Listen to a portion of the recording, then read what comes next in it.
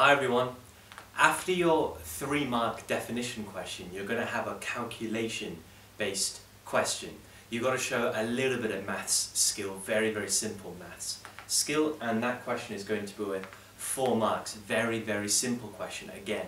A question you should be scoring four marks on.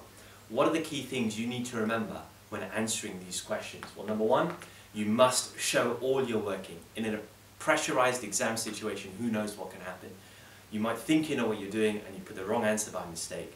If that happens, your working can still score you significant number of marks. So do that, show all of your working, everything.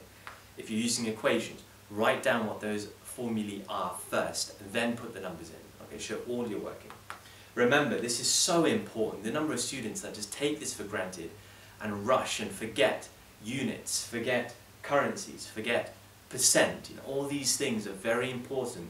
The examiner will be looking out for these things and they will cost you if you forget them. What kind of calculations might you be asked to do? It could be a whole range of stuff, but the most common calculations will be index-based calculations, whether you need to convert something to an index number, maybe. Maybe it's calculating percentage of something. Maybe it's a percentage change from an index.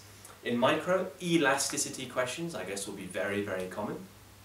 But it could be anything where you've learned equations. So something like you know, GDP per capita, for example, uh, real disposable income, for example. Anything that requires knowledge of an equation, you can be asked a calculation. Even like the AD equation, you might need to calculate AD given C, I, G, and X minus M. It could be anything, right? So um, again, if you know your economics, you'll be fine with this, but practice is your best friend to make sure you're okay with any kind of calculation question that can come up. Uh, lastly, number four is really important. You've got to be fast with this. No point wasting time with it.